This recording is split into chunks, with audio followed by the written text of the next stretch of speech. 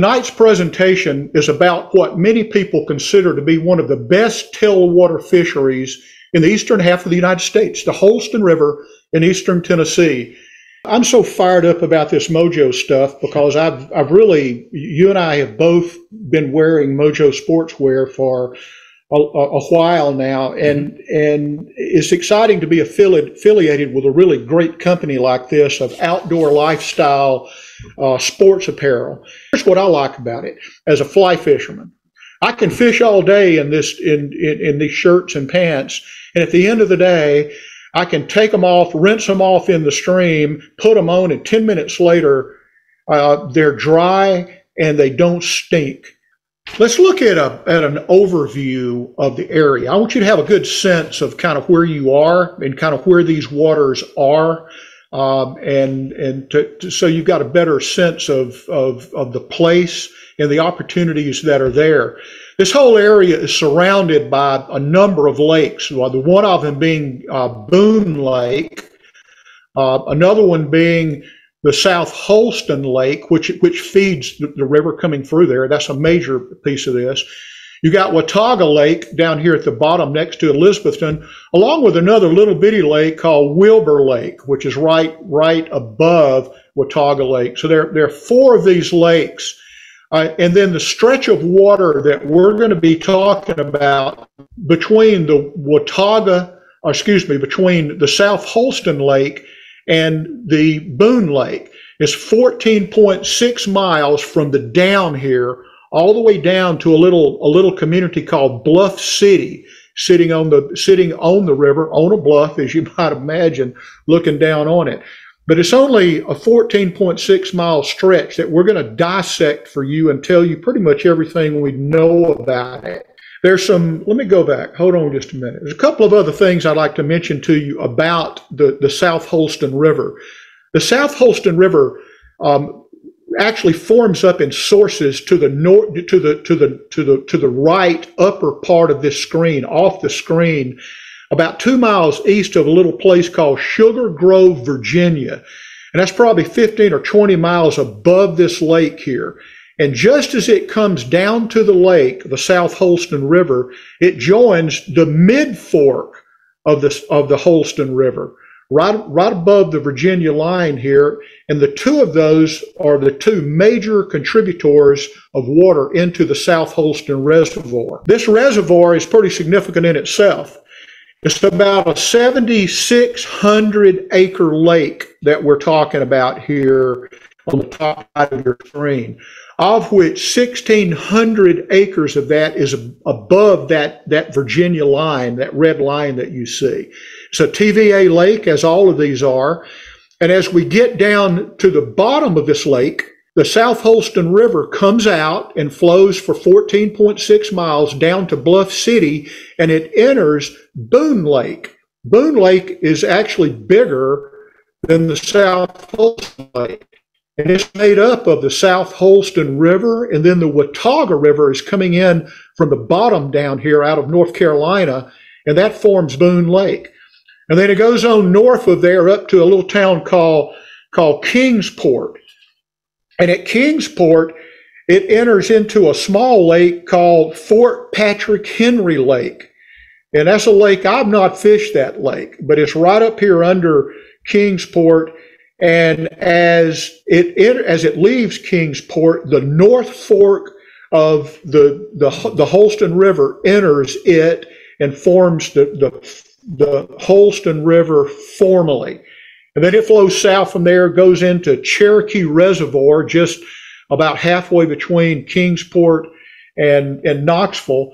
And as it comes into Knoxville, it joins the French Broad River and between those two rivers, it forms the river. It ceases to be the, the, the, the South Holston River at that point, or the French Broad, and it becomes the Tennessee River, flows south, and it goes into the, the Gulf of Mexico. So you have several cities along here. You got Kingsport, you got Johnson City, Elizabethton, Bluff City, and Bristol straddling the Virginia line. So that's a general overview of the area that we're going to be talking about. Uh, but the main thing we're going to focus on starting right now is this area right here between these two lakes because that's where all the fish are.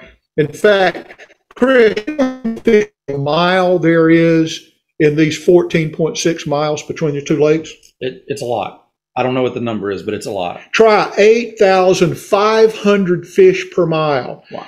Which means from start to finish, they're over a, they're over 125,000 fish in the river between those two between those two lakes. That's what makes it a really great fishery. In addition to the fact that every rock you turn over mm-hmm. is actually crawling with entomology. Stoneflies, midges, scuds, everything you can imagine is on the bottom of these rocks. So there's a lot of food for these fish. They're big fish, and there's a lot of them. Chris, you want to run through the, um, we got this thing we call at a glance. Uh, it's really out of my book how I describe all of the, the different waters that, mm. that we fish, but generally uh, this is kind of how we look at the Holston It's a River. five thumber. There's no doubt. It, it, it, it's one of the one of the best places you can fish, full of browns, bows, uh, even carp. I know I know there's some great carp stories that you guys have gotten into. Um, access is very easy, accessible along the way.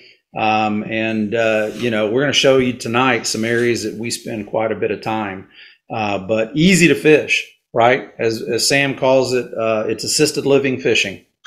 So it really, if there's a giveaway to the assisted living portion, the gradient is, is, is not even one, a 1% gradient from the dam to Bluff City. It's basically you're walking on flat terrain all the way down uh, the 14.6 miles. It only drops 137 feet over 14 and a half miles. So it makes it very, very easy.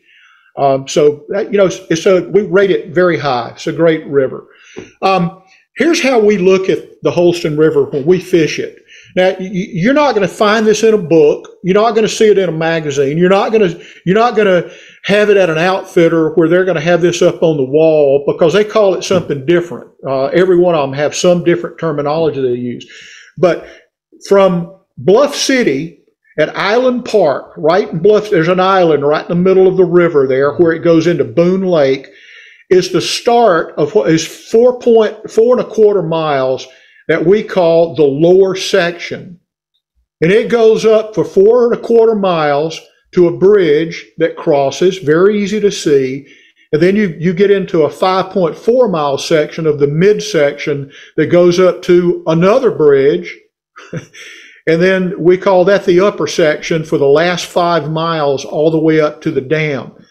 Now, what we're going to do, we're going to start down here and we're going to work up the lower section to show you some images and fish and places on there you may want to visit and fish or stay, things like that.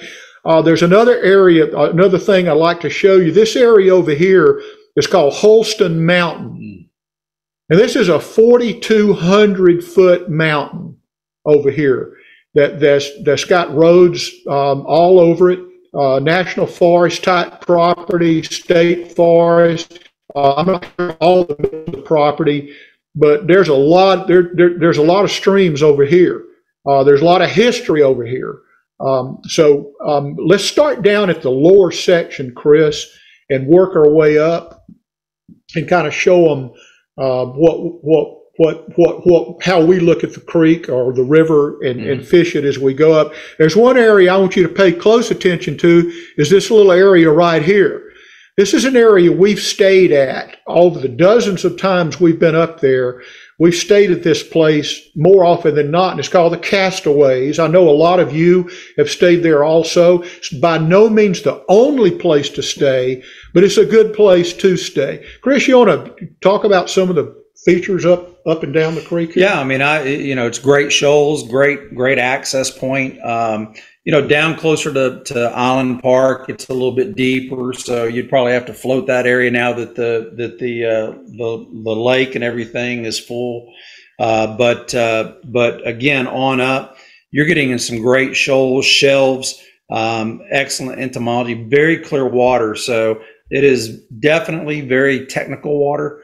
Um, you have to sneak up on these fish sometimes. Uh, but uh, with the right mix of bugs and tippet, uh, you can get into some big fish. We've caught some nice, nice browns uh, and rainbows in this area. We have Chris and I and our fishing buddies down through the years have stayed at this location of the castaways quite a few times. And you literally, it's about 100 yards from the river. Uh, you literally can walk right down to the river. And I can guarantee you we've caught a thousand fish in this area right here down through the years. This image shows the water up. This is during a release, or at least during um, either coming up or going down. If it were if it were during during regular flows, you would see rapids all along here. And when I say rapids, I mean ankle to knee deep rapids along this area here. Very wadeable and very fishable. This lane right here is always loaded with fish, all the way down to these shoals down here that start all the way down to Island Park. And so we fished, I'm going to go back here.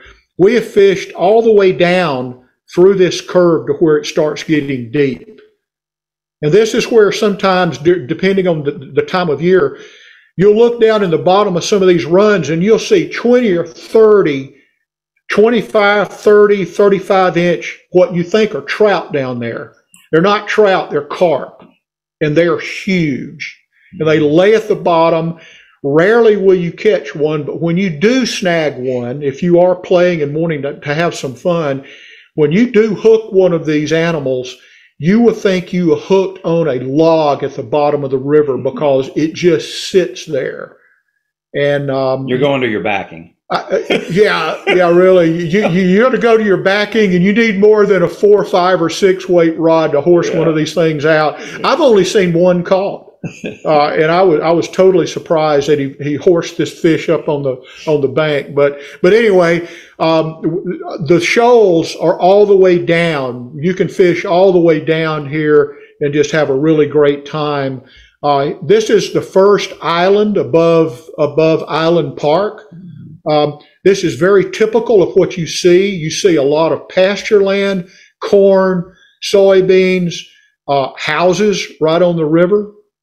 Uh, going upstream about halfway up, you know, about a mile and a half, maybe two miles, um, you see this boat ramp right here. Uh, and I'm going to show you um, after this image. I wanted we wanted to show you this picture to to, it to illustrate how beautiful this water is because this is actually a good image of what the water really looks like. It's kind of tea covered, colored. Uh, it shows the bottom is covered with with rocks a little bit of uh, algae and and and growth on the rocks, and just covered. Every one of them uh, are covered with bugs. Now, about five to ten minutes later from this left image, the water started coming up. And this is what it looked like standing in that same spot. So we're going to talk a little bit later about understanding the release schedules and the significance of them, because in just the course of a few minutes, it goes from this to this. And it's time to lay your ears back and get out of the creek at that time, or you're going to get hurt. It's dangerous. It can it can get dangerous. Yeah. Um, this is a typical uh, little rainbow. Yeah. Um, 12, 13 inch rainbow. 12, 13 inch rainbow is nothing in this in this river. Mm-hmm. Uh, you see how fat this this fish is, just fat as a pig. Um, I think probably caught this one on a, a probably a, about an 18 um, uh, uh, BWO is what that was caught on. Uh, but this is very typical of what you look like. This is very typical of the rock structure that you'll see around with with the grass uh, along the side of the, of the of the river. Yeah, yeah, and, and and be prepared. Have you know? I don't fish scuds that much, but I know it's very popular, and and because there is so much grass. But uh, I mean, you can see this is the same area that we fish on the left side, you can see that's what it looks like some days, and on the right side, uh, it's nothing for the fog to set in and uh, and and be kind of difficult to see down there. So you need a light on your yeah, bug. You need a light. I, for for you pilots out there, I'm a pilot. I call this uh, in, instrument fishing. Uh, this is IFR fishing. Some days uh, you can hardly see the end of your of your of your rod. This is about halfway up the lower section to a place called the, the, the J Forrest Thomas access area. This is a boat ramp.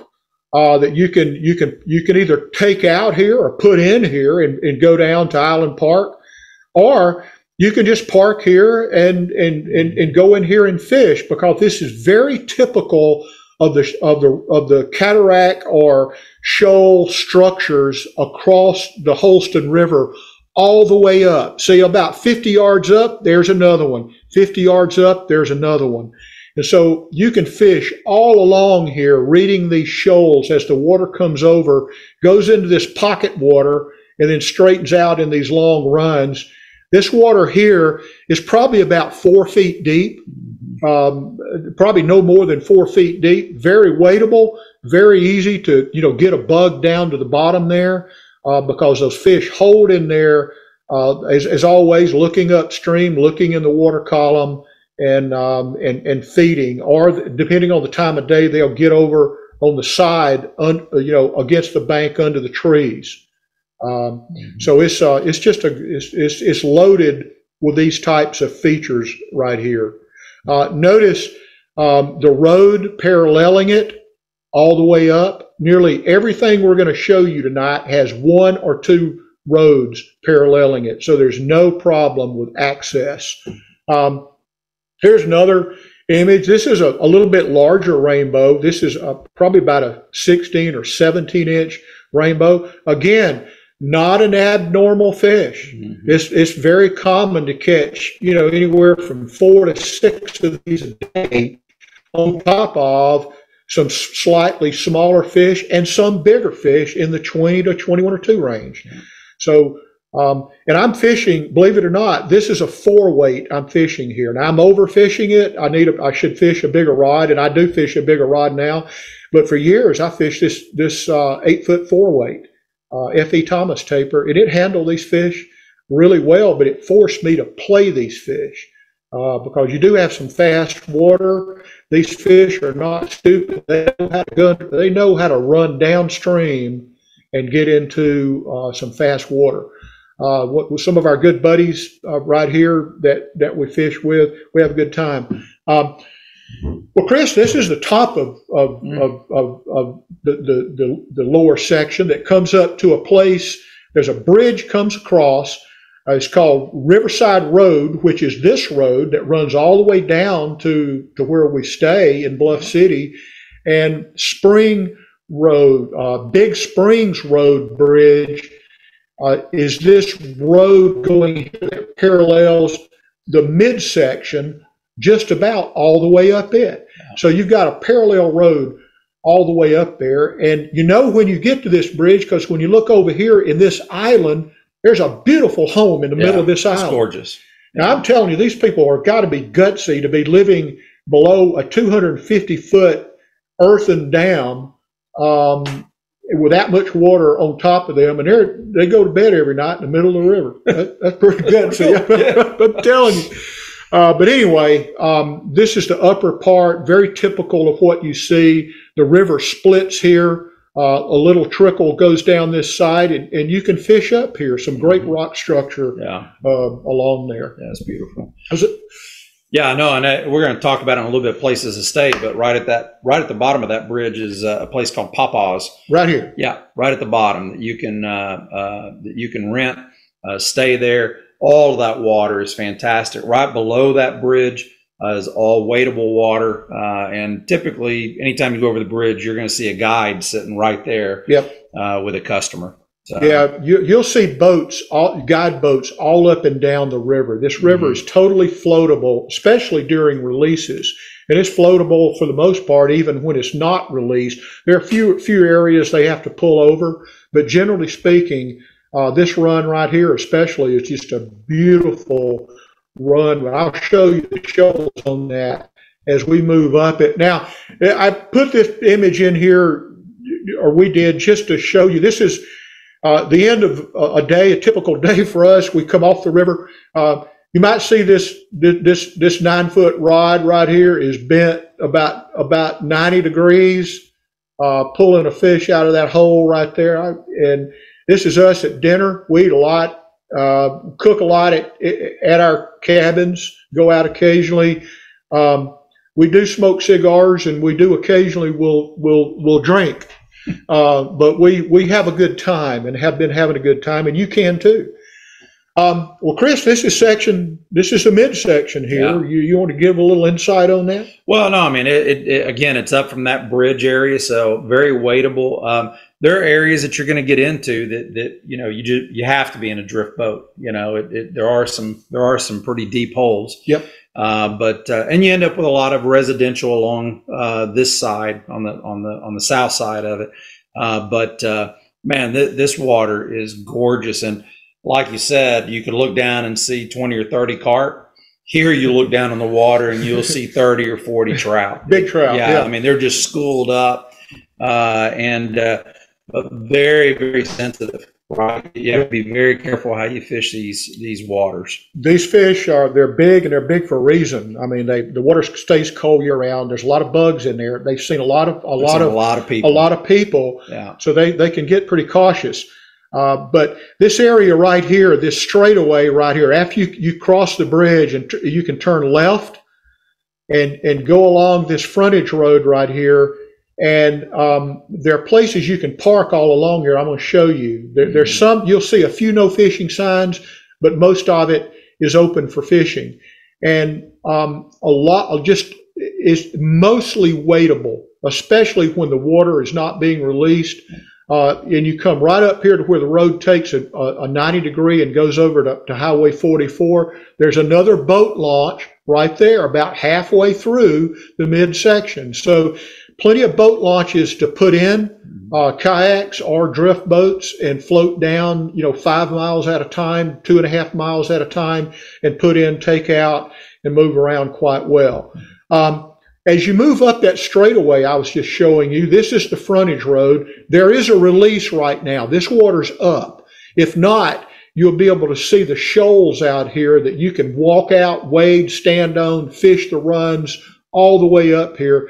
But one thing I wanted you to notice is this turnout right here. About every 50 yards, there's one of these that you can park in and and fish. And and so that's important uh, because this this is a narrow spot right here. But this road goes all the way up, just about halfway up the midsection, uh, and, and a pretty typical of what the river looks like right there, and the width right here, about 50 yards across. Right, it can get wider than that. Um, Hmm. Here's you know this is this is this is not during a release here, and this shows you what basically the the average depth of the water a lot of the way up and down this river uh, that you would be fishing. Highly wadeable. Uh, there are some holes, uh, but the water's so clear, you know, it's easy to see. Um, typical fish, uh, you see a lot of grass, a lot of grass beds on the edges and in the water because when the water's down, sometimes the grass will grow and it, there's enough time there that grass can actually take on some of the areas in the middle of the river, which is kind of interesting. But you can see during the the, the, the releases how it combs this grass down, and, you, and it's uh, it's actually very pretty. Um, this is about a mile and a half up the midsection right here, and the reason I'm showing you this is to show you the the, the shoals that come across here. This is not during a release. This is what it typically looks like. Nearly all the water, the deepest water you see right here is probably four feet deep against the bank over here because that's the outside of the turn. Uh, but on the inside, you've got these shoals. All of this is fishable along here. A lot of entomology, um, just a lot of opportunities to dry drop in here. Uh, and during, of course, the, the, the, the, the summer months, because of all the, the pasture land out here, um, a lot of opportunity for terrestrials Mhm. along here.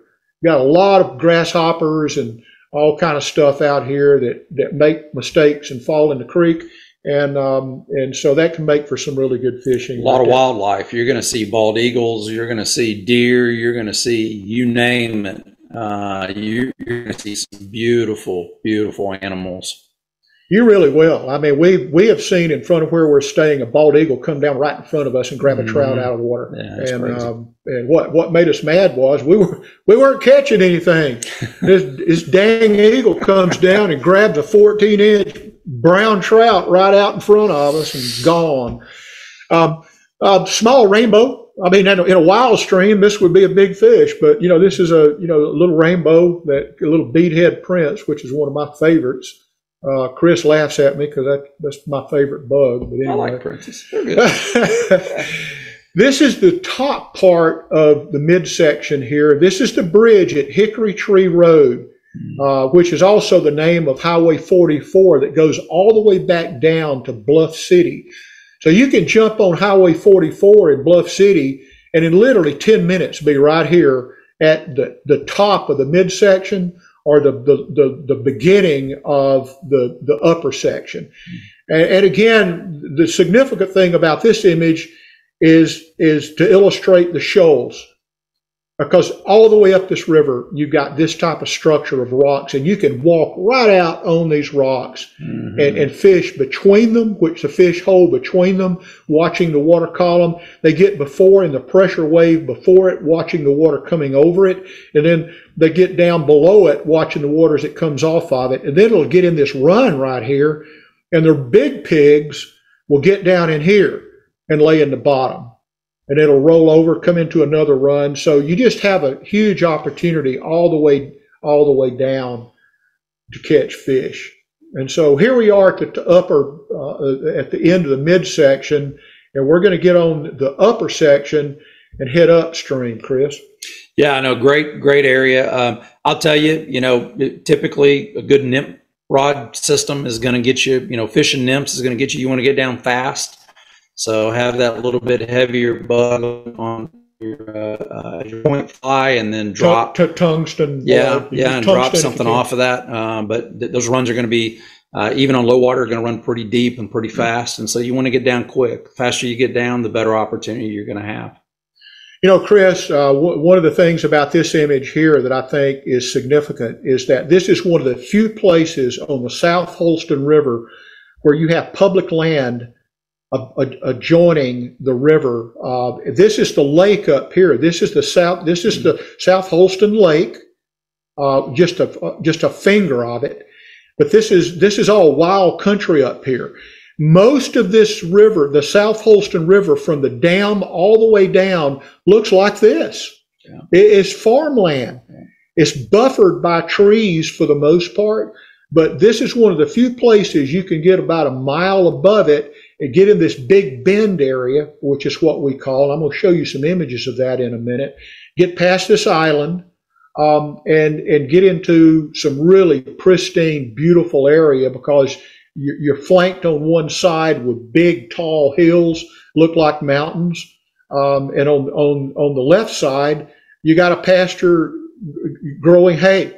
You know, so you get a real contrast there, and you get almost no traffic up here. You may get a boat come through occasionally, but you're not going to see any other fishermen up here. Uh, I've never seen anyone come down. The farthest the fishermen will go is down to about right here. Mhm.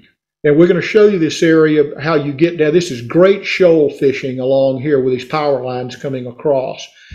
Um, this is the area showing some, some of the fish we catch, shows you the width of the river going into that big bend right there, looking downstream.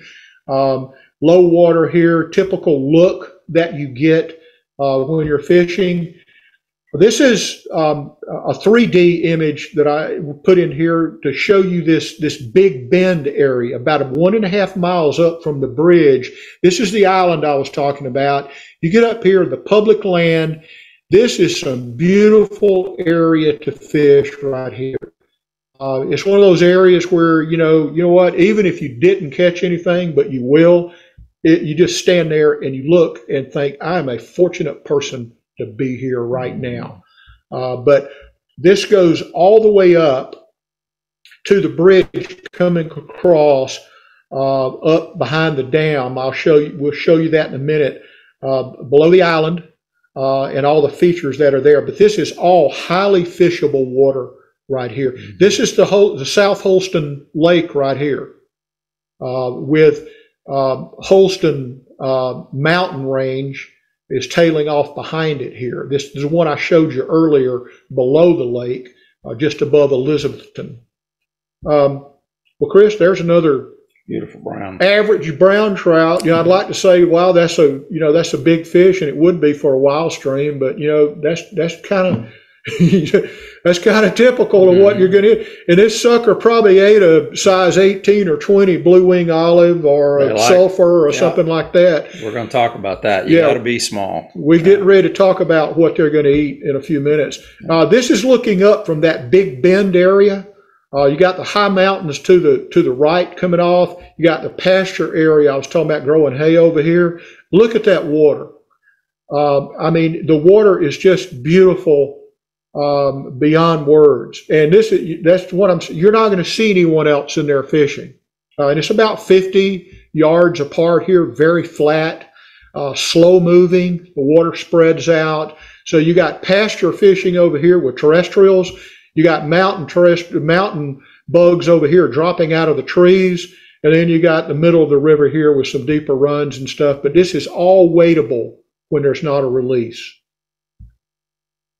Mm. Another little rainbow.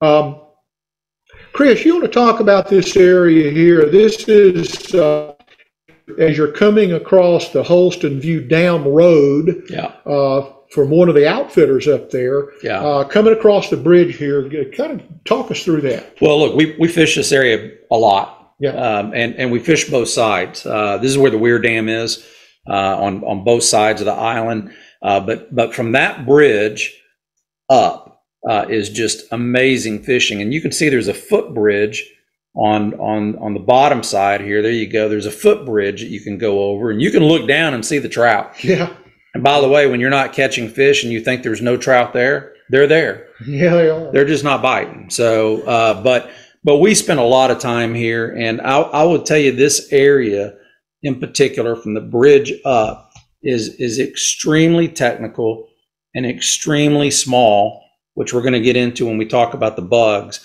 Uh, but if you're if you're not a little bitty here, uh, then then you're gonna your chances of catching a fish are going to be pretty slight. But I'm gonna tell you, beautiful area, especially on the on that backside Yeah, uh, when the sun's going down at night and, and the fish just start rising like crazy. Uh, and uh, boy, you can you can get into some nice big browns, nice big rainbows there. you, you really can. And, and Chris, uh, I, I, I- to be totally transparent here with our our our, our viewers tonight, uh, we rarely, if ever, fish this above the Weir Dam. Never, we never uh, fish all it. the way up to the release uh, gates on either side of, of uh, Osceola Island, which Mhm. runs about a mile. This is a long island. Yeah, Trails all over it, by the way. You can you can navigate all over this thing. Uh, but we rarely fish either side of this island above the weir dams.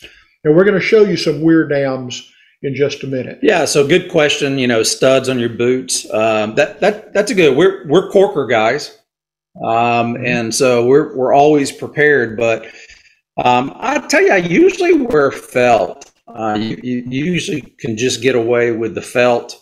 Um, uh, even down below the bridge, and when we talked about that, the Big Bend area, Yep, yep. um, you, you can get away with felt pretty much. Um, I, I don't fish my Lumitrax on the Holston. Uh, it's not like fishing the Chattahoochee down here where you take your life into your own hands uh, if you don't have a Lumitrax. Yeah. Um, and then uh, another question was access to the Big Bend area. Did you did, could you go back a slide maybe? And, We can go back a slide, and unfortunately, the only way I know to to to, to get to that Big Bend area, this area right here, yeah. is is to hike down. There's, there's, a, there's a trail running all the way down that you can that you can get down there, or you can go up from the dam on Highway 44, and it's not far. I mean, Yeah. it's I say it's not far. It's probably you know a mile up there, um, or or two miles to the bottom of it right here. But the bridge up there, which we were just talking about, Right right, from that bridge down, it is is a great uh, foot trail. I've actually, I probably shouldn't say this because I probably get in trouble by TVA, but I've actually driven my truck down this this um, power line easement down and parked right there and walked down. Not Oh. recommended. You're right, Yeah. and I'm not saying do that. don't, in fact, I'm saying don't do that, but I'm just saying I've done that. But there's a trail that goes down, uh, or you can wade down. I mean, it's just Yeah. not that far and it's, it's, it's fishing all the way down. So You, you can a, find ways to walk. you down. can get, you can It's- get down there. bad. I mean, I, that's on the edge of the river right there. Yeah. Uh, after release, the water's kind of occluded right there, but that's basically, you know, that's kind of what you'd be walking in. Mhm. Uh, and you can see the depth of it right there, very shallow. Just again know your release schedule, which we'll talk about, because what you don't want to do is, Yep. is you'll you, you know it doesn't seem like that far, but as most times when, when we're fishing, uh, we forget, we lose track, and uh, and it gets hard to hear the siren that's going to go off when they are releasing. So There- just there- be aware. There's sirens on the island and at the dam that go off, but once you get way below there, you, you don't hear you don't hear sirens. You just have to be aware of the water, and you need to know. And we'll we'll talk about that and, and tell Yeah. you how to get that information.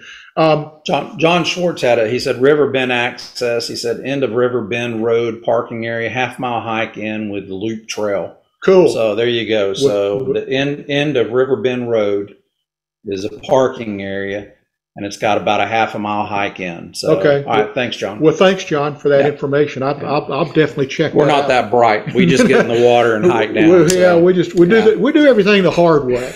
Um, but this this area, if, if you're going to see, um, if you're going to see traffic, uh, if you're going to see other anglers on the Holston River, this is where you're going to see most of them. Yeah, This is where we see most of them fishing from the weir dam down to um, below uh, the Holston View Dam Road is typically where we see most people in the river fishing. yeah. Um, Especially locals. it, yeah, A lot of locals. yeah, local. But You got you got a launch here where you put a kayak or a boat in. Yeah. Um, you and got Ryan had that question. Ryan was saying, "Hey, he's got a new new drift boat. Where's a good area?" Right there, if, Yeah. you'll, if you'll point to that bridge, yeah. this um, where the on the le- on the left side where the bridge comes across. There's a launch right there. Now there's a little bit of a drop at the bottom of it. There's it's on about a, that side. It's on it's on the other side. Well, there's one over, yeah, there's one over there's that here. one there There's one here, and in theory, you could put one here, but there's Yeah. about a one foot drop off the concrete down into the water. But I would probably do it right over in this area here. And and Ryan, go back and watch a video where we were talking about the midsection and and taking the road up, um, where, where there was a little little uh, uh, boat launch there, Yep. uh, and and that's a great area to to to go upstream, if you will. Yep. Uh, and and you can fish some there too with your boat. But that basically, even all the way down to the lower section, you can take a boat from here all the way down to the lower section. And you can put in or take out roughly every two to two and a half miles. Yeah. Uh, Yeah. all the way down to Island Park. Yeah. Or you can go on into the lake, Boone Lake if you want to. Mhm. But our, our buddy that fishes with us with a drift boat puts in right here when he puts in up here. Yeah. So you can do it either way. But. This is an interesting area.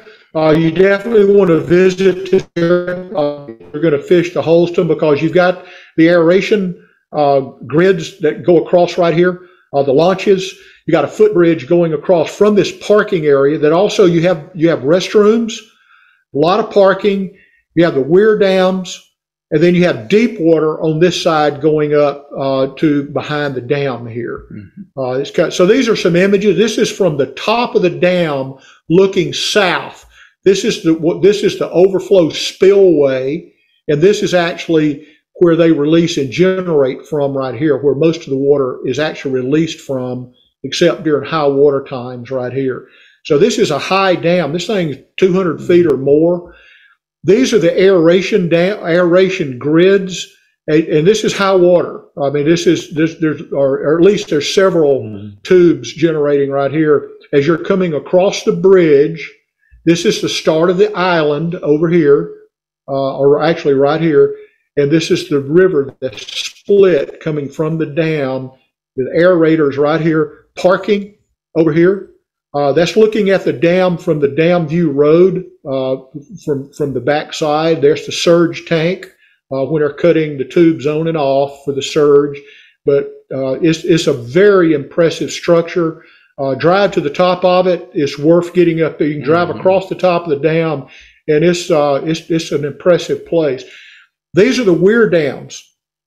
Uh, and, and these are during a major release because normally I've never seen this water going over them. I've, I've only seen it. These things are probably eight, maybe nine feet tall. Mhm. And normally there's only a, a foot or two of water at the bottom of it. And you got these big accordion shaped structures in the river reticulated like that, which increases the surface area for water to go over it. Uh, is what's unique about these things. They're pretty cool. Uh, but And you this fish is up into them. You, you can walk and fish up into these things with Yeah. water falling on both sides of you. So it's really kind of a, you know, for flatlanders like us, it's kind of an exotic place to hang out, you Yeah. know. Um, be nice to drink a beer up in there. Yeah, it would be. Smoke a cigar or something Yeah, like that. it's a cool place. Uh, but this is when the water's normal. This is really a, a really great place to fish right here, all the way down to the aeration dam, under the bridge, coming onto the area, and then down to the Big Bend area. That's kind of generally what it what it looks like. Um, Chris, you're the release guy. To talk about releases? Man, I'll tell you what, when you when you plan a trip up here, you know, obviously we're not talking about the Watauga tonight, but uh, you know, the, that's that's one of your options. Uh, but but you really have to be on your release schedules, know where you are on the water. Um, the TVA does a pretty good job of being somewhat consistent. Uh, if they say it's going to release, they typically do. Uh, but uh, you know, that's what we do. We're a lot of times we're chasing release schedules when we're up there. Uh, but uh, I, I do know this: you'll get a warning sign or a warning siren uh, that'll go off. Uh, but but honestly, you you you need to be prepared. It when it when we were talking about the castaways and, and where we've stayed and behind, that water will come up so fast uh, that, that you don't have time to to react. So know your schedules, be prepared uh, because it it the C, the CSF will get will get pretty pretty pretty fast. So It really will. Uh, depending on the number of tubes they open up, um, I think there seems like there three, four, Yeah. three, four of them. You know that you see in the bottom here that are generating. Yeah. Um, where we were staying, you know, almost at the bottom of the South Holston, about 14 miles down, from from when they would they would publish that they're going to start releasing. It would always take about four hours for it to travel the 14 the surge to get down 14.6 miles. mhm. And, and you know, you know that was pretty dependable. Um, so it, it can be dangerous if you don't pay attention to that kind of thing. They do publish it.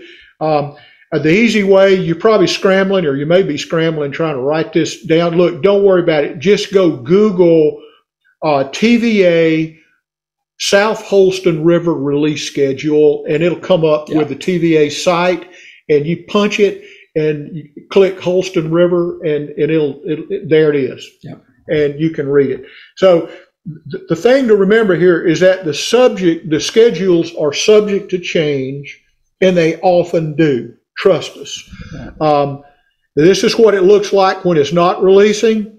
This is what it looks like when it's releasing. You can tell you can tell the difference. Um, you'll see signs like this up and down the river. Um, you know, sirens, you know, flashing lights and all that stuff. Look, you just just get the schedule and depend on the schedule, and you should be reasonably Yeah, and safe. Chad said there's a great app that the TVA has and uh, that you can download. That's that's correct. Um, that that's a great one. Uh, so thanks, Chad, for Yeah. saying that. Yeah, I, I think one of our buddies, I think Mike or somebody actually uses one of those Yeah. things. I'm, yeah. I'm, we we use it here for the Toccoa uh, in Georgia, so that's a TVA as well, uh, and so we we use it for there. Not me. I use my laptop, and then when they change it, and I don't know they change it, I go beat on the door of the damn dam and try to find out, get answers as to when they're going to stop releasing. This is a picture of me actually beating on the door of the generating plant, trying to get someone to come out and talk, and no one ever came out. I don't understand it. Well, because they saw you. Well, it probably, pro- probably did. But anyway, uh, these guys don't have anything to do with it. It's the TVA guys, but it made me feel better to go take it out on somebody. Um, Chris, you're the bug man. Talk to these people about what they're going to catch these fish with. Yeah, I, I love bugs. Uh, I, I, you know, uh, I'm a I'm a tier. Um, I'm passionate about it. Uh, and uh, so we're, we're just going to cover some of our favorite bugs, Yeah. right? We're, we're, this is what we fish with. Uh, what we- Perennial favorites. it's what we have success with. It's like anything. Bugs are about confidence, uh, and uh, so you fish with what what makes you confident, uh, and uh, and you'll catch fish. Yep. Right. Uh, but for us, the, we're gonna we're gonna walk kind of show you some of these in a minute. But you know, there as Sam has said, there's a lot of bugs, uh, and and in his hand here, this is just from a clump uh, that that that uh, of moss that he pulled off the bottom, and you shake it out. And uh, man, there's there's some uh, Hundreds. yeah, there there's mayflies to to midges to Stone scuds to stoneflies to you name it that, that are that are in this water. So uh, truly an abundance of bugs and and and the fish you can tell. I mean they're They're, they're, they're fat. Healthy. Yeah. So, but you know the key thing here, as we said at the bottom, pay attention to the size because you know it, it it gets small. Um, you, you can see here that's a that's a Blue Ridge Parkway quarter, um, and uh, and I will tell you, small, smaller, and smallest uh, is is going to do you right. Um, and so um, I, I would say, obviously, considering you know over fifty percent of a trout's diet is midges, uh, you need to have a pretty good offering in your box of size 20s, 22s, uh, even smaller. Uh, but I'm usually I've got a 20 or 22. Um, I will tell you um, that that that copper, that brown and copper, the locals call it something. Uh, maybe someone can tell us what it is. I always forget. But but when I talk to them and say, hey, what are you catching them on? They go, oh, you know, it's a it's a lickety split or some I don't know some name. And I and I'm, I'm like, well, that's a that's a that's like a brown Copper, Zebra- copper. copper zebra midge. Zebra go, midge. Yeah, basically. They love zebras. Yeah, they love They love zebras. So, zebras. but another one that's really interesting, guys, is is don't be afraid to do a size 20 purple zebra midge with a silver bead. Uh, I, I've been on the water with these guys, and they're not catching fish, and I'm tearing them up. Um, there you go. It's a sweet thing midge. Yeah, thanks, man. I knew it was something interesting like that. So they call it a sweet thing. It's it's basically Chad. Maybe you can agree or not agree, but That was uh, a name. That was your old girlfriend's name. it was. I. I think it was. So, but you can agree or disagree, but but it's a brown zebra midge, I think. So, uh, but anyway, um, cool cool little bugs, right? Um, another is is uh, don't be afraid to go with with kind of a white, you know, midge. Uh, a lot of times is if you turn over a rock, you're going to see a bunch of white midges. So um, all this is uh, is is um, uh, thread. So that's that's Semperfli uh, uh, uh, white thread uh, that I use, and uh, and I'll either do a uh, uh, I think that's called a I can't remember the name of these uh, uh, Miracle Midge or something like that. Uh, but but essentially these work really well. On the right side of the screen over here, uh, that's just a clear bead, uh, clear bead zebra, zebra, and that that gets you up in the film. Um, thanks, Chad. Yeah, you're right. Is that supposed to be an air sac or, or air bubble? Yeah, it can. It can mimic that, An right? bubble, so, and depending on the weather, so if if, if you've got really sunny day, uh, a lot of times a silver bead's going to be good because that's going to mimic uh, that air sac Mm. uh, that's coming off an emerger. I'll tell you the other thing to do, and, and a lot of people don't do this, is watch the birds. If all of a sudden you start seeing the birds swarming and hitting the top of the water, you'll see five, six, seven birds circling and hitting the water. You got a hatch going. Yep. Uh, and and when that's happening, then then you know jump to that, jump to those uh, those midges uh, pretty quick. Um, another great midge is called a Matt's midge. Uh, again, size 20. Uh, that's 8 aught Semperfli black thread. Also do them in red, uh, but just have a uh, you know a trailing shuck there with a little single piece of crystal flash. Uh, let's see, you're right on the birds. Yeah. Okay. Cool. Thanks, man. Appreciate you confirming that. Um, so. Any particular type of birds, Chris? I don't, you know, I'm not a bird guy. I, I do. They're just birds. Chad, Chad seems to know a lot. He may tell us, uh, but but they're they're little bitty, like uh, kind of finchy type type birds, Okay. yeah. and, and and they're small, and and man, they just start circling like crazy, and uh, you know, and and and and when that happens, you got to hatch. You better be paying attention, and as fast as you see those birds, it's going to be just as fast that they turn off. Uh, Yeah. So you got to be prepared to gear up really quick. Well, it's just like saltwater fishing. When you're Yeah. fishing in bays and you see gulls circling and diving in, you know they're they're they're taking the bait fish. like what Chad said, he goes, "Yeah, they're just birds going nuts. Pretty much, they are. They're happy. They're eating." Um, here's the other thing: uh, if you go to South Holston Fly Shop, great guys in there. Uh, you know, Matt Champion and and and and those guys, super people. Uh, they're big on going seven X. I struggle with that. Uh, you know, I'm a decent fisherman, but uh, seven X, yeah. Uh, you know, we we fish that on the Davidson when we go uh, because it, it, it is very uh, technical. Uh, but to make myself feel better, I usually go with six and a half X trout hunter, uh, and uh, and that makes me feel a little bit better about. And just in case I get into into a nice fish, It gives you just a little bit more confidence. it, it does. It does for me anyway. Uh, and then, and then, you know, like I said here, I get pretty lazy, uh, and I don't feel like changing it. So most of the time, I just got six X on. Yeah, I agree. and I'm still I- catching fish. I I agree. I agree. I rarely break a fish off. I, I may miss them. yeah. I may stick them. but I rarely break them off. Yeah. Six X. You got if your drag set right you're doing what you're supposed to be Yeah, doing. yeah. Hey, that's the beauty of fishing bamboo, guys. Uh, it's got it's got a little more relief on that tippet when you fish bamboo. A lot of people don't know that, uh, and that's why we like bamboo. For that's one of the many reasons why we like bamboo. But it does give you a little bit of extra tippet protection. They look good too. They're pretty Really cool. Yeah, pretty cool. Soft tackles. Uh, this is the this stinger soft tackle on the right. The orange and the lime green is a pattern I came up with uh, a couple years ago. And uh, man, I'm gonna tell you, it, it fishes really well. This thing should be outlawed. It should be outlawed. It is. Can't fish like crazy. It's crack. It's crack for trout. Um, but but um, the nice thing about these fish, them from uh, kind of a size 10. So if I remember, I said you want to get down fast.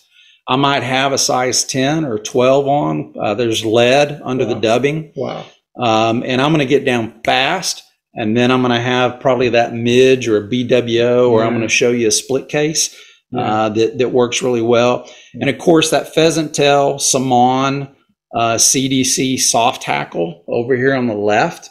Uh, that is Saman camouflage uh, camouflage uh, thread that I use as the body, uh, and of course pheasant tail tail. Uh, but that olive and red and copper does really well. Depending if the water's a little a little uh, mucky, I may I may put on a gold bead. So don't be afraid to switch your beads up. Uh, here's a couple fish on the Holston right here. Uh, this was that upper section of the island that, that we showed you. Uh, that was this last spring. So look at look at that pretty Yeah, beautiful fish. Beautiful color. Right? yeah, beautiful fish, and uh, That was right out in front of where we were staying. yeah, yeah, really, Right. really nice fish. Caught those on the stingers. Yeah, uh, so there you go. Um, here's another one. When we talk about that weir dam area, um, great bug to have. Yeah. Uh, uh, that, that acts as an emerger, very simple to tie, uh, is is a size 20. Uh, hare's ear soft tackle, and and I tie these on a dry hook. Um, you know, it, it, it's a little bit wider gap, uh, allows for a little bit. So those weighted. No, no weight at all, uh, and uh, just just some hare's ear dubbing and and uh, and and a and a soft tackle on it, and uh, and I'm telling you, those those perform really well.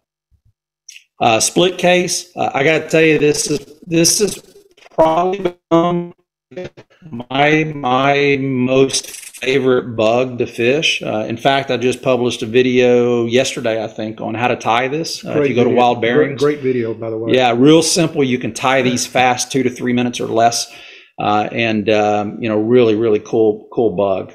Uh, you, anytime you see sulfurs, right? You start seeing little yellow. We call them mayflies in Texas. Y'all call them sulfurs, but um, you know, you see those little yellow bugs popping around, uh, those sulfurs. And you, and you will see some crazy sulfur hatches on, the, especially the lower Holston. Yeah, I'm gonna tell you, and this this past spring and the, even this summer was interesting. They were big. I mean, I'm I'm saying size 12s and They 14s. look like UH-1 helicopters. Yeah, they they were some big, healthy bugs, uh, which was good to see.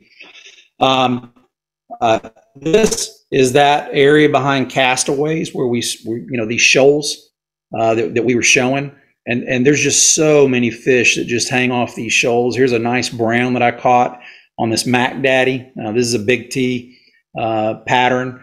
Um, this is about the only caddis that I fish. Uh, one is you can uh, you can put some real heavy bugs off of it. It does not sink. Um, two, it's very easy to see uh, in the riffles, uh, and uh, the downside is is it's CDC, so you got to use uh, Loon Lochsa and Frog's Fanny, and you got to treat it up a lot. I've never seen anything float like you. Could, you you could tie a darn monkey wrench under Yeah. that thing, and it would not sink it. And I'm telling you, you catch a lot of Yeah, fish off yeah, of these. Yeah. And listen, when I when when when I see fish come up, I've had them come up and take an airlock or the new Oros indicator, the pink. Um, I actually tie these in pink and white as well, uh, and and they perform really well. So there you go. Uh, and of course, Frenchies. We're, we're you know big Frenchie guys. Um, again, here uh, you got the coke tail. Uh, typically, got a size 16 on. Uh, typically fishing a, a jig hook.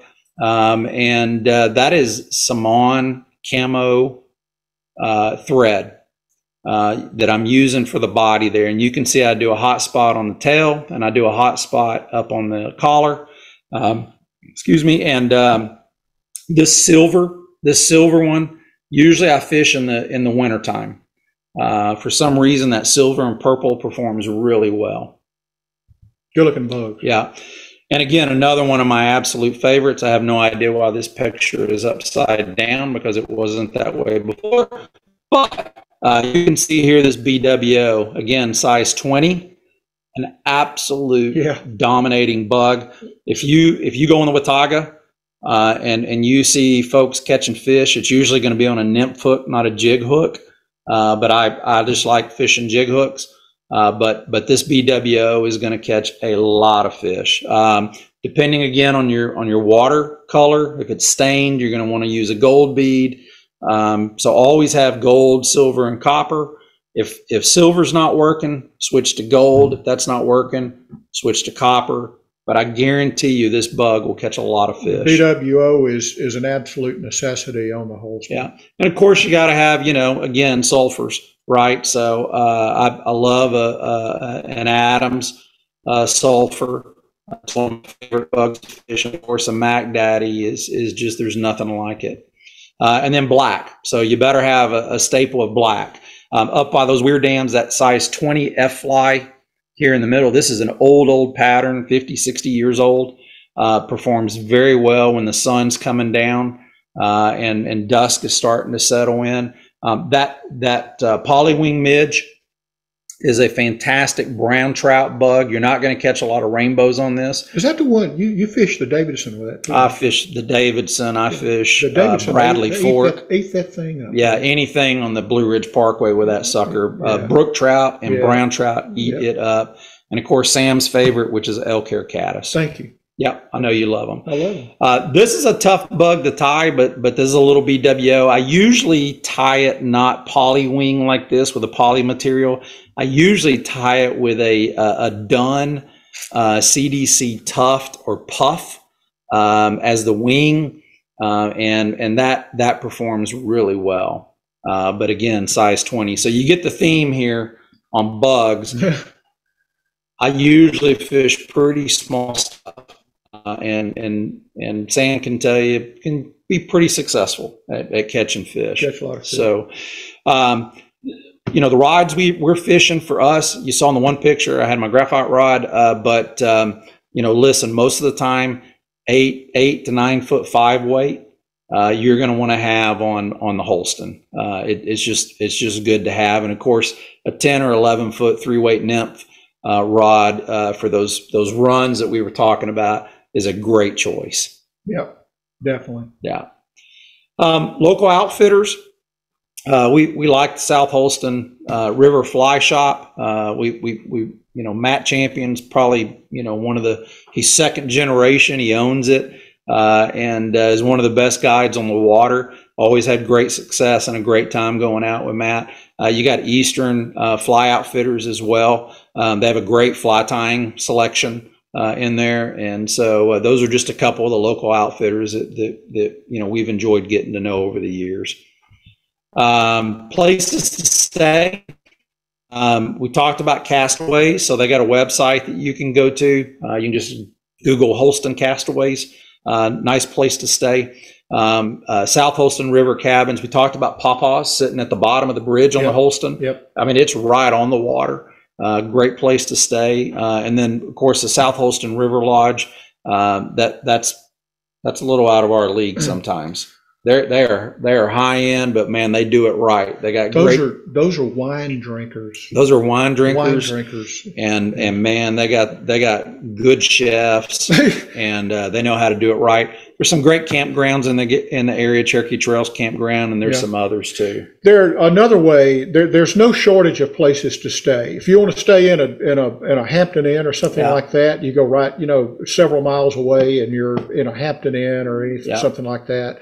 Um, or um, you know, you, you can say, you know, well, I'm not going to take Sam and Chris's word for it. I'm just going to I'm going to Google South Holston River, pull up the map, drill down to the river level, and it'll highlight all the all the places that that that are that are uh, places to stay. Yeah, Um, so a lot of these are you know are you know bed breakfast type places or just Mhm. rental one night kind of thing. So there's no shortage of places to stay along there, and as a general rule, they're, they're all pretty reasonable. yeah, yeah. They're very reasonable. Um, listen, places to eat. Um, if you're staying in the Bluff City area, City Dine is about it. yeah, it is. And now they're, you know, because of cutbacks, they're not open on certain days. But uh, one of the best places to get breakfast Yeah. uh, and uh, and and chicken fried steak. So they do a great job.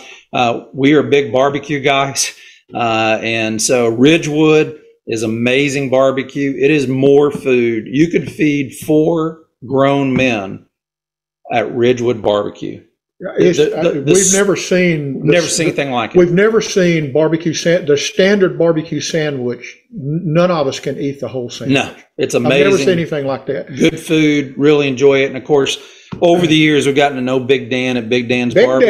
Dan. He's uh, he's moved off the Watauga River uh, into uh, downtown, and he's right next to our favorite tap house because well, it's the only one we found. Well, it, it yeah, it, it is. They got a nice outdoor area. You can sit outside. They got great beer selection. You know, we've we've determined down through the years that for a, a fishery to be a quality fishery, that you know you've got to you got to have good fish. Obviously, you got to have good access. You got to have a decent place to stay. Uh, you got to have a place to buy cigars, and you got to have a place to drink. Yep. and and That's places to eat. And and this place has it all. That's about it. So, so anyway, let's transition to uh, some different, you know, kind of Plan Bs. Well, you know, when they're doing releases and you're not going to float, um, you're you're going to need to find some other place to fish generally, because the fishing on the South Holston River uh, below the dam all the way down to to Island Park can be very difficult, very dangerous. And so, what we've done over the years, we have found other mountain streams um, or other waters close by that we can go to. One of them being the Watauga River down at Elizabethton, coming out of the uh, out of Wilbur Dam. Um, the tailwater coming out of Wilbur Dam, cold year round, a great trout fishery Mhm. all the way down to Elizabethton, Tennessee. And this is just uh, what 10 miles south on Highway 19 East or 19 South out of uh, Bluff City. Um, this is a great fishery, and I would I would have to say every bit as good as the South Holston, Yeah. uh, and will be a, a, a webcast of its own at some point in the future because it's, it's it's one of my favorite places to fish. So when they're releasing on the South Holston, you can jump down on the Watauga normally and and and continue to fish and catch a lot of fish. Uh, the Doe River uh, is flows north uh, along Highway 19 East out of out of um, up into Elizabethton uh, along Highway 19 East. It's a great, it's a good, a fun river to fish, especially when you get in in the wild part of it, going through the gorge. I mean, it gets to be some pretty serious uh, water going through there, and it's it's wild fish in there. Mhm. And, um, you know, you can always jump on that river. That's a fun place. Uh, then you got Beaver Dam Creek, uh, which at and above Backbone Rock, which is a state park on Highway 133, below, it's in Tennessee, but it's just under the line from Damascus, Virginia. That's about a 40 minute drive from where we used to stay at the Castaways.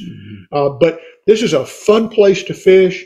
Lot, you, you can grand slam there um, in just about every time you go. Wild what- slam. Wild slam. Wow, that's where I got my first wild. That's slam. where I took Chris and he slammed the first time, and I knew he would. Yeah. Uh, but you got Beaver, you, you, you got Backbone Rock, which is one of the most unusual places I think I've ever seen, and I believe has this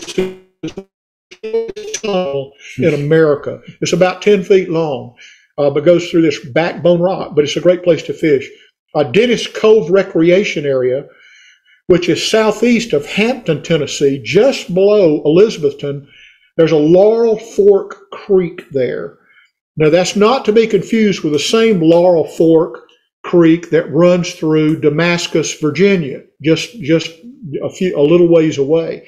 This is a really great wild stream that I have I caught probably the most beautiful rainbow trout I've ever caught the first time I went there Mhm. about five years ago. Yeah. Um, I've never seen a rainbow trout as colored and as dark blood red as that fish was. But that's a good place to go. Just be prepared up there. A lot of snakes. So Snakes got watch cu- watch the time of year. You got copperheads up there, uh, so be careful. Uh, the other thing I'd mention is that you know south of the the South Holston River is a mountain range called the Holston Mountains, about 4,200 feet. Uh, the north face and south face of that of that that range has a lot of water on it. That's all I'm going to say because I don't want to get in trouble for hot spotting somebody's other stream. So anyway, um, when, when they're releasing and you can't fish on the South Holston, there are other places to go. Um, here's how to get there. Um, as you see in the middle of the of the image here, here's the South Holston flowing out of the, the, the Holston Reservoir down to the uh, this blue line here. You got Interstate 81 coming down from the northeast, just blistering right past Bristol, right between Kingsport and Johnson City, keeps going. That provides really great access from the northeast and southwest. And then uh, you've got Interstate 26 coming up from Asheville through Johnson City, crosses 81 up through Kingsport, keeps going, which gives you kind of good north south. Then you got Highway 19 East coming out of North Carolina, um, out of uh, Boone and uh, Banner Elk and all that area. And then you've got uh, 421 coming out of Boone also that runs up to Bristol. Um, you, you, getting here is not a problem. Uh, any of these, you just jump right off, come to Johnson City, hit hit uh, what is it, 19 West, East, whatever, and you're there. And Uh, uh, the the police are very friendly. They they will stop you just to say hello. Yep, no, they will not stop you to say hello. They will stop you to give you a ticket. So we're giving you an advanced warning. If it says do 45, do 45. Do 45 or you will contribute to the retirement system there. A lot of people pay a lot of money up there. They really do. All right. Well, we've got a few minutes here. With if we would love if you got any additional questions or comments or anything, we'd be happy to answer them. um, or we'll put it in the in the YouTube. So we we'll take this video. It'll be a couple of days. We'll get it posted on YouTube so you can go back and, and go back through this at your leisure. But uh, thanks, John, for for sending that link, and we'll grab that for sure. Um, any other questions? Uh, how much does a release fish? You know, it it depends. That's a great question because I, I tell you in general, um, I like. There's usually going to be activity on the front end of the release, but I really like to fish on the back end of the release. As the water's coming down, um, I I really like to fish it. Um, now, if you're if you're in a drift boat, it doesn't matter. It doesn't matter. Yeah, it, it, you're you're going to be uh, doing pretty good uh, anyway. But uh, I I like to catch uh, I like to catch the back end of a, of the water coming down. Uh, there's obviously a lot of great bug activity, and um, so there you go. Yeah, my, my, my answer to that is uh, when they're releasing, I head down to one of those Plan B waters that I just Yeah. showed you, and some of my buddies float. And when we get back to the house and start comparing notes, they caught as many or more fish than I did, Yeah. and a, a lot bigger fish in many cases. So the release really doesn't affect the fish is feeding, at least to the point of affecting it to where they don't, you know, you you don't catch them. They're used to it. They're used to it. They Yeah. the water goes up and down every day to them. It doesn't Yeah. really affect them. I've, I've drifted uh, the waters on release and, and caught just as many as is not, you know, on, on, on the water release. Um, you know, Ryan, as far as a minimum flow uh, to target for a drift boat, um, we we are not big drift boat guys. Yeah. No, don't have anything against it. Um, we're in fact usually because we're really focused on Blue Ridge Parkway, we're usually bushwhacking somewhere yeah. uh, to be honest with you. And, and this is a treat to kind of come to the Holston and the Watauga in that area. And we do we do this two to three times a year. Yeah, and even then, we, we usually go off into the Doe and think Yeah. that we're superheroes and end up with you know busted legs. I, and, I, I got to tell you, Yeah. and, and I know Chris feels the same way. Catching fish on the South Holston River is such a sure thing. Sometimes after two or three days of that, I lose interest. yeah, I want to go fish I, something. I want to go chase a six inch brook trout or, Yeah. or something that's never seen a human before Yeah. that I have to sneak up on and, and really trick him into to biting something that he thinks is something he's supposed to be eating. So Ryan, I, I would I would check the fly shop. Uh, Yeah. they're, you know, for us, that's where we have the most connection to. It doesn't mean that we we don't support or not involved with other fly shops. It's just usually if we go up there and do a float trip when we do them, um, I you know we call for Matt uh, Champion. Um, he, he's that good. There's there's some great guides up there, but I we just don't know. That's a good question.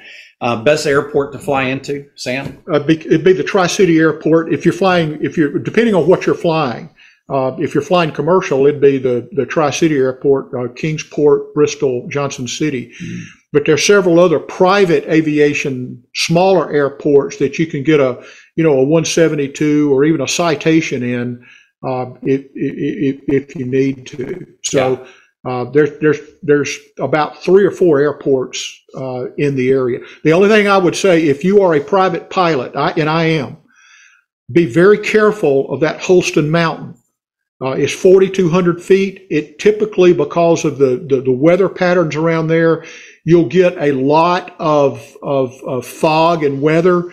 In fact, in 1976, an F4 Phantom with two Luftwaffe German pilots that were over here bored into the side of that mountain at about 600 knots. So if you're flying up here in its IFR condition, make sure you've got your your, your barometer set right and you and you're flying a, a flight plan. Um, yeah, great, great. Okay, Chad has some great intel for us guys. Uh, by the way, you can go to the South Holston Fly Shop and get that map uh, that that, um, that that we were talking about a minute ago. But Chad has something that's very interesting. We'll have to try out on this trip coming up. He said there's a new fly shop uh, called the Fly Box. Uh, it's got beer taps. We're in. Sign us up. Uh, and uh, so all the fly shops in the area are amazing. I agree with you, man. They're, they're, they're great. He said the Fly Box uh, is awesome fly shop right near the Weirs. yeah. So we'll have, okay. to, we'll have to check that out. Um, the only bug you didn't mention is, is a Puff Daddy. Yeah, you know, I think that is a lot like the Mac Daddy, uh, to, to be honest with you. Um, but, um, you know, I, I know Puff Daddy's pretty big up there. Um, I just, have, you know, have gotten to where I fish that Mac Daddy, uh, and, and I just don't veer from that too much. I, Yeah. you know, it's my confidence bug, and, and I can drop a size 10, almost a size 10, 12 off of that Mac Daddy, and it'll still float. Yeah. So, really. so anyway, but Yeah. Also, um, you know, a bug we didn't really talk about were scuds. yeah, a And, I, I'm and I'm telling you, Yeah, there's a difference between a green scud and a tan scud with these fish. Yeah. I didn't think there would be, but by golly, there is. I was fishing scuds. I was dropping a scud. It was a tan scud, hmm and uh, I'd caught fish on it before, and I wasn't catching anything. A drift boat came by with an outfitter in there, and he, he, you know, jawing back and forth, and and he found out what I was fishing. He said, "Well, here, try this green scud, and it was it looked exactly like the one I was fishing, Yeah. except it was just a shade greener. First cast, bang. Second cast, bang. It's amazing how discerning these fish can be. Yeah, another another point here that, that, was brought up, and, and I have not heard this. Uh, maybe somebody else has, but felt boots, uh, felt bottoms are going to be banned in Tennessee, West Virginia, and Virginia uh, at some point. Um, is is what someone has said here. I haven't heard that, uh, but but definitely something to check into. Um, that being the case, uh, I would be. My Korkers will have their little aluminum disc on the bottom of them Yeah, we'll because they work every time. Yeah, we just switch over to the Lumitrax um, and uh, and do pretty well. Um, John John mentioned uh, there's two section that sections that close for the brown trout spawn. So yeah, when when when that starts to happen, uh, you know rule of thumb, guys, stay away from the browns. Uh, they they close a couple sections, but uh, anytime that's happening, doesn't matter what watershed you're on Right, right. um, you know, stay away. Uh, let let them do their thing, reproduce, uh, and let the rainbows eat their eggs. So yeah, you know, good egg pattern. you better have some egg patterns Yeah, for sure. So good, good, good Down, downstream, down. downstream.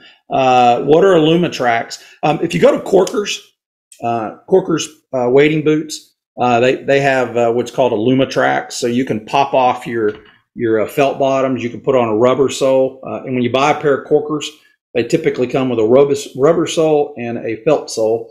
Uh, you got to pay another 70, 65, 70 bucks uh, to get the uh, uh, Uh, my recommendation both. I have the bars, uh, and then I also have the hex discs. Right, Um, I have found that the hex discs are going to be safer Def, Uh, de- because when you get up on top of a rock, uh, those bars don't give you quite the traction, and um, yeah, you'll find yourself at the bottom of the river. Yeah, you'll if you've not fished Korkers, you'll you'll love them.